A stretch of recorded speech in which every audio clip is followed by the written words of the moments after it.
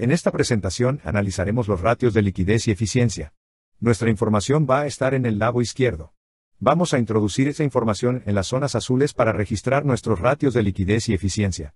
Con esos datos, le recomendamos que configure sus hojas de cálculo de Excel en este formato para que la información esté en la parte superior o izquierda con las palabras en una celda separada como los números, de modo que pueda consultar los números con referencias de celda. Esa va a ser la forma más eficiente de avanzar. Lo que tenemos es nuestro balance. Tenemos el balance general de A y B. Vamos a decir que van a ser dos empresas distintas, así que básicamente podemos ver dos conjuntos de números a medida que avanzamos a través de estas proporciones, y hacer algunas comparaciones a medida que las revisamos. Luego tenemos también la cuenta de resultados. Y luego vamos a tener algunos datos del año anterior, que van a ser necesarios para algunas de las proporciones que vamos a considerar. Así que primero vamos a ir a algunos de los tipos de proporciones más comunes. Entonces, cuando pensamos en los tipos de ratios financieros, algunos de los ratios de liquidez son algunos de los más comunes, por lo que vas a querer conocerlos bien, especialmente el ratio actual, probablemente el ratio más común y el tipo de ratio más útil. Y luego vamos a tener la relación de peso de la prueba ácida, o la relación rápida, a veces llamada, que también es una relación de tipo muy común. Así que empecemos por ahí. Vamos a decir que la razón corriente va a ser simplemente los activos corrientes divididos por los pasivos corrientes, los activos corrientes sobre los pasivos corrientes. Vamos a poner esto en su lugar en una especie de formato vertical en Excel. Creo que es muy útil hacer esto, porque enumera cómo se introducen realmente estos datos en una calculadora, los activos actuales. Vamos a tener nuestra información a la izquierda. Va a estar en el balance. No desglosamos este balance. No desglosa los activos actuales y a largo plazo, como suele verse en muchos balances. Y eso nos permite tomar estos datos y decir, bien, ¿cuáles de estos activos están al día y cuáles no? Entonces, vamos aquí, el efectivo está al día, las cuentas por cobrar están al día, el inventario de mercancías, los gastos actuales pagados por adelantado, los activos actuales de la planta, no porque podrían ser activos de la planta, propiedades, planta y equipo. Podría decirse que hay activos depreciables. Esos van a ser los activos a largo plazo.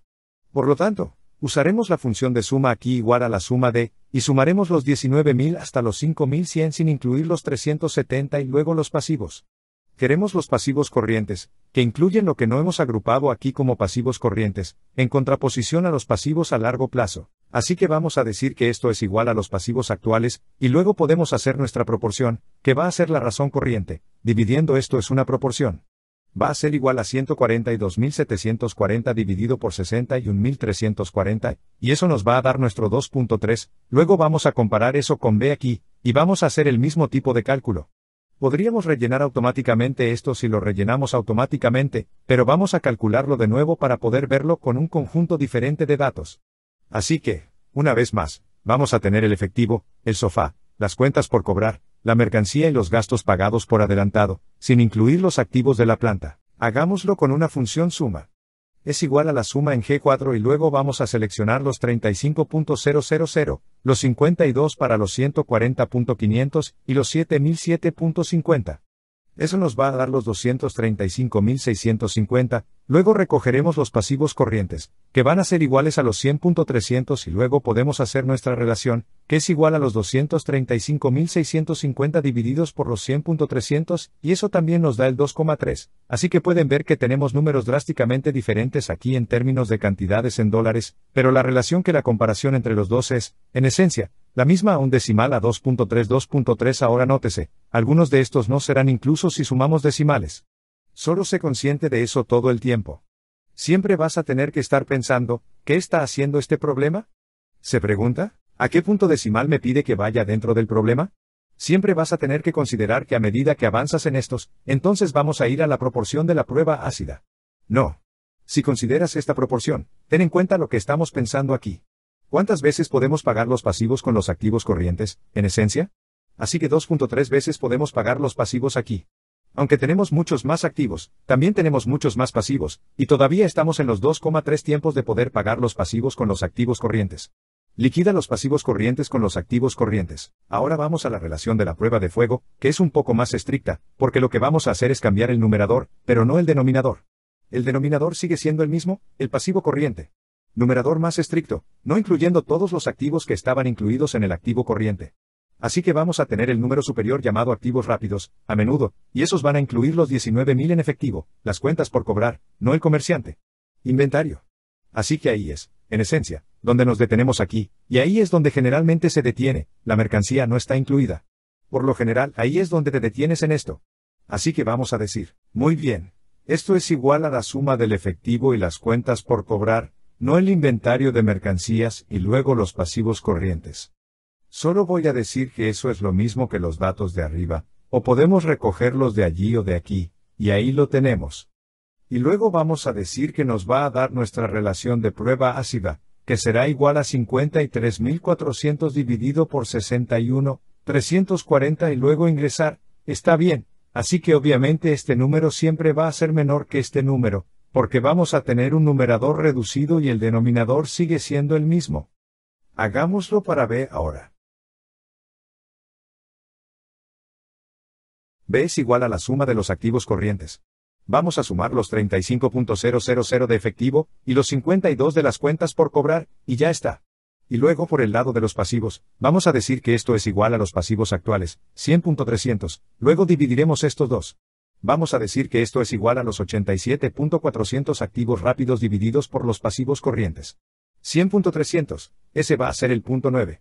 Y de nuevo, números drásticamente diferentes aquí, pero la proporción entre los dos es muy similar.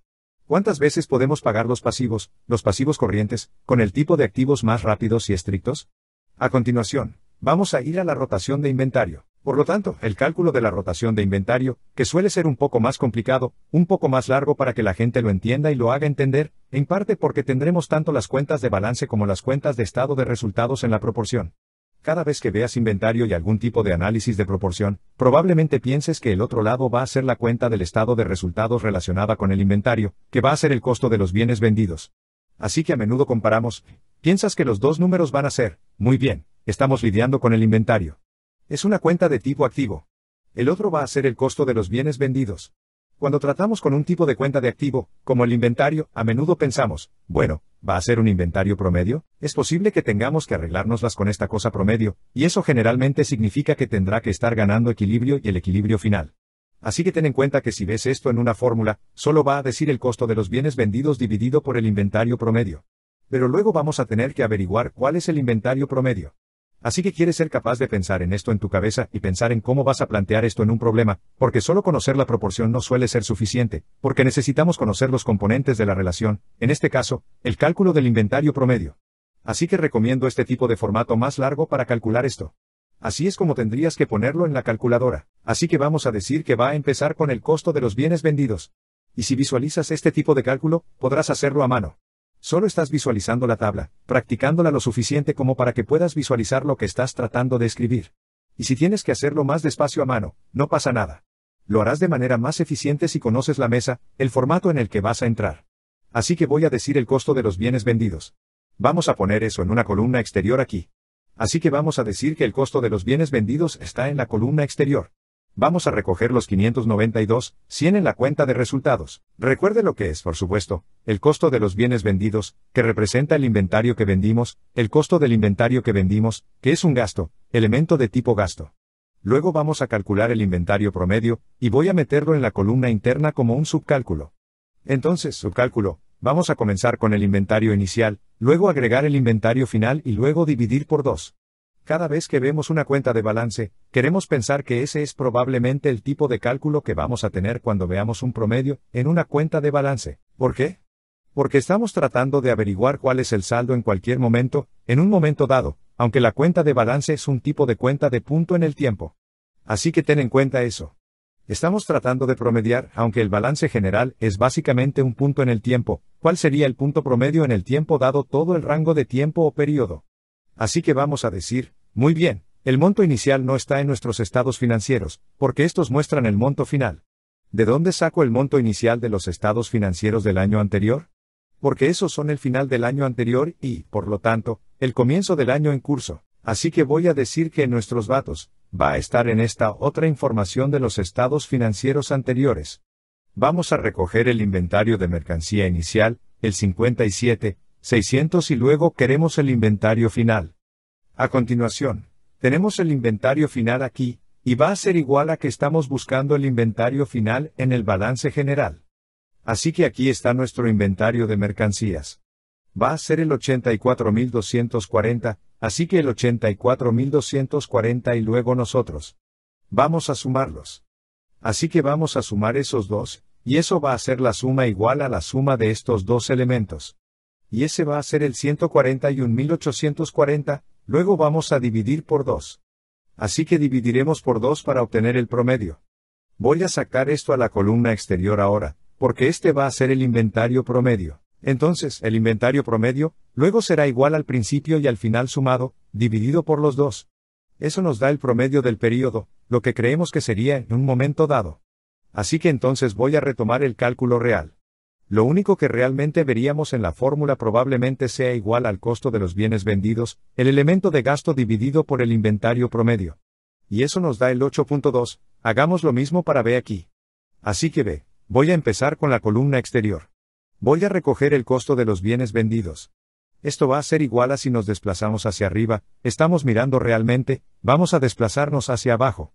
Queremos el costo de los bienes vendidos, los 652, 500. Luego queremos el inventario inicial que va a estar en los estados financieros del año anterior, o en nuestro caso, en los otros datos de abajo. Por lo tanto, el inventario inicial es 109, 400. Luego queremos el inventario final, que está en nuestros estados financieros actuales, porque los estados financieros actuales son al final del periodo de tiempo. Esos van a ser los 140.500 que vamos a sumar o sumar. Eso nos va a dar los 249.900, luego simplemente dividiremos por 2 para obtener el promedio. De hecho, pongo los dos aquí, divididos por 2, y luego diremos que esto es igual a 249.900 dividido por 2. Y eso nos va a dar el 249 a 124, 950 y luego dividiremos esto. Esto equivale al costo de los bienes vendidos en la columna exterior, los 652.500 divididos por el inventario promedio. 124, 950, lo que nos da el 5.2, por lo que esto nos muestra cuántas veces, en promedio, la empresa ha vendido y básicamente reemplazado el inventario. Así que se ha vendido y reemplazado más por A que por B a continuación, echaremos un vistazo a los días de ventas en el cálculo del tipo de inventario. Este va a ser un tipo de cálculo similar, que también se ocupa del inventario y ahora estás considerando la otra cuenta, que va a ser el costo de los bienes vendidos, típicamente, con lo que vamos a comparar el inventario. Así que vamos a tener el inventario de mercancía. Ese va a ser nuestro punto de partida. Recogeremos el inventario de mercancía. Esta vez vamos a recoger el saldo final, en lugar de la media, como vimos la última vez, que va a estar en el balance. Esto es a partir del final del periodo de tiempo, 84.240, y luego vamos a recoger el número del costo de los bienes vendidos. Así que estamos buscando el costo de los bienes vendidos que está en el estado de resultados.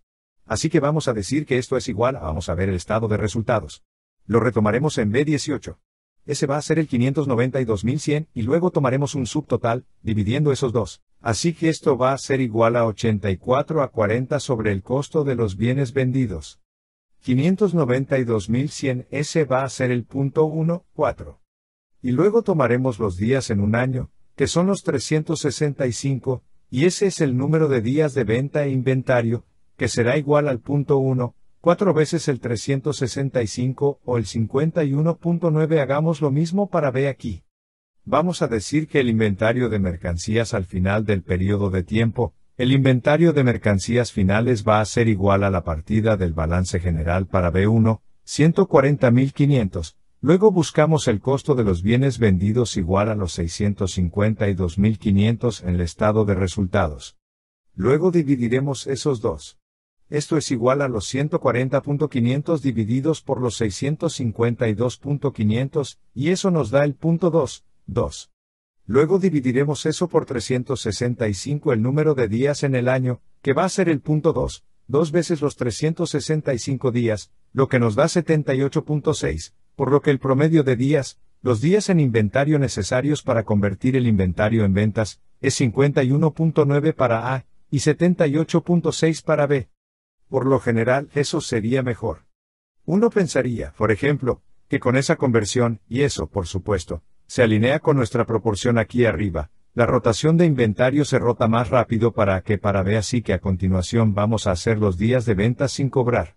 Esta relación va a comenzar con las cuentas por cobrar actuales y comparándolas con las ventas netas, vamos a decir las cuentas por cobrar actuales. Las cuentas por cobrar actuales van a ser iguales, así que estamos hablando de cuentas re. Cobrar aquí igual y nos desplazaremos hacia arriba hasta el balance, porque estamos buscando una cuenta de balance en el 34.400, luego queremos las ventas netas. Ventas netas, no ingresos netos. No estamos hablando del resultado final. Estamos hablando de las ventas netas después de si tuviéramos un estado de resultados extendido, después de las devoluciones y asignaciones, si tuviéramos devoluciones y asignaciones, por lo que vamos a desplazarnos hacia arriba y decir que queremos las ventas netas y nosotros, solo estamos recogiendo la línea de ventas, las 780 mil nuevamente, no los ingresos netos. No vamos a recoger el resultado final, y ese va a ser el 780, luego vamos a tener el subtotal. Así que vamos a tomar el subtotal, y va a ser igual a los 34.400 dividido por los 780, voy a llamar a eso un subtotal. Así que vamos a decir que es un subtotal, y luego vamos a tener los días de un año, multiplicar eso por los días de un año, 365, y eso nos va a dar los días no recogidos.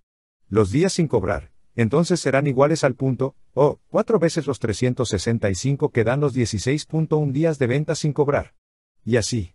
Así que estamos fuera. Obviamente estamos viendo cuánto tiempo va a tomar básicamente para tener las ventas desde el punto de tiempo en que básicamente vamos a recibir el pago de esas ventas, la colección de esas ventas para B, entonces vamos a decir que esto va a ser igual a las cuentas por cobrar. Así que vamos a desplazarnos hacia arriba y echar un vistazo a las cuentas por cobrar, que son las 52.400, y luego vamos a echar un vistazo a las ventas netas. La línea superior no el resultado final, no el ingreso neto, sino las ventas, y eso va a quedar en la cuenta de resultados. Vamos a recoger los 898, 200 y luego los dividiremos para el subtotal. Esto es igual a los 52.400 divididos por los 898, 200 que es el punto punto, o 6. Entonces los 365 días en un año son iguales, entonces el punto 6 veces el 365, o el 21.3 parece que está funcionando mejor aquí también, porque parece que se están tomando menos días, en promedio, para cobrar las cuentas por cobrar, como con B, 16 a 21.3 a continuación, echaremos un vistazo al cálculo de la rotación total de activos.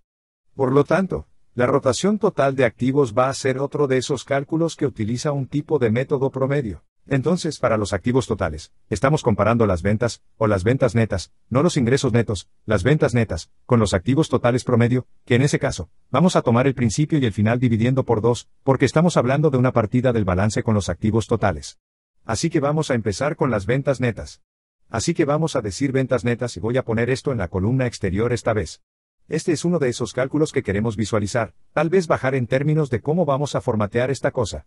Porque, una vez más, tener la fórmula puede ser un poco confuso, porque se va a dividir por este promedio, y luego vas a tener que desglosar el promedio. Así que vamos a decir, voy a poner esto en la columna exterior, y vamos a decir que esto va a ser igual a que vamos a desplazarnos hasta las ventas de los 780 mil, y luego queremos el promedio de activos totales. Así que tenemos el promedio de activos totales, que tendrá los activos iniciales. Así que vamos a empezar con los activos iniciales aquí. Ahora bien, ¿dónde se producen los activos iniciales? No van a estar en el balance actual, van a estar en el balance final del año anterior, ¿verdad? Porque el balance del último año es de finales del año pasado, y eso es lo que queremos para principios de este año. Así que vamos a recoger los activos totales del año anterior, que son los 388, por lo que los 388, y luego el saldo final va a ser los activos totales del año en curso. Así que vamos a decir que el saldo final va a estar aquí. Vamos a recoger eso y decir es igual y estamos buscando el saldo final en el balance, desplazándonos hacia arriba. Y vamos a recoger el total de activos aquí, los activos, ahí está el total de activos, los 512, 740 y luego si lo sumamos, eso nos va a dar un subtotal. Así que voy a llamar a eso un subtotal aquí igual a la suma de estos dos elementos. Son los 900.740 y luego vamos a dividir por 2. Así que tomaremos eso y lo dividiremos por 2, y eso nos dará nuestro saldo del activo total promedio. Así que vamos a decir esto, y voy a llevar eso a la columna exterior. Ahora esto va a ser igual a los 900.740 divididos por los 2 para obtener los 450.007. 370 entonces podemos calcular la rotación total de activos ahora que tenemos nuestros dos componentes. Así que, una vez más, si ves esta fórmula, solo va a tener ventas netas por encima de los activos totales promedio, y luego vas a tener que desglosar básicamente esto. Así que quieres formatear eso, o pensar en eso, o sentir cómo vas a procesar básicamente esta información. Y es posible que quieras pensar en una tabla como esta, aunque sea más larga que solo esto, el cálculo que muestran en la proporción, es lo que realmente vas a tener que hacer. Así que vamos a decir que estos van a ser los 7. 180.000 dividido por los 500, los 450.370 o las ventas netas divididas por el promedio de los activos totales. Eso nos va a dar el 1.7 y luego haremos esto para B. Así que voy a ir a la columna exterior para B. Estamos recogiendo las ventas netas, que serán iguales a desplazarnos hacia arriba. Estamos buscando las ventas netas, que son 898, 200 y luego queremos traer los activos.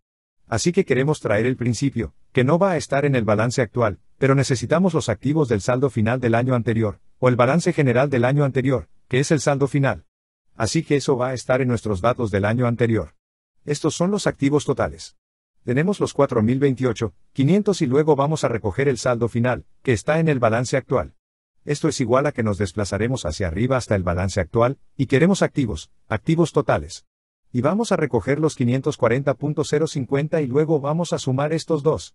Esto equivale a la suma de los 402, 500, 540 y 50. Esos son los 942.550, luego dividiremos eso por 2, y eso nos dará nuestros activos totales promedio, que serán iguales a los 942.550 divididos por 2, o los 471 a 75. Ahora tenemos nuestras ventas netas, tenemos nuestros activos totales promedio, luego podemos dividirlos, que es igual a los 898, 200 dividido por los 471, 275 o 1,9. Esta relación mide la eficiencia con la que estamos utilizando nuestros activos. Así que tenemos nuestras ventas netas, esto va a ser lo que estamos ganando en lo que nuestros ingresos o nuestra línea superior, en el estado de resultados, dividido por los activos fijos, cosas que estamos usando en el balance general para generarlo. Y por lo tanto, estamos diciendo que estamos obteniendo un retorno de 1.7 para A, y un 1.9 para B así que B se ve mejor en este caso. Así que,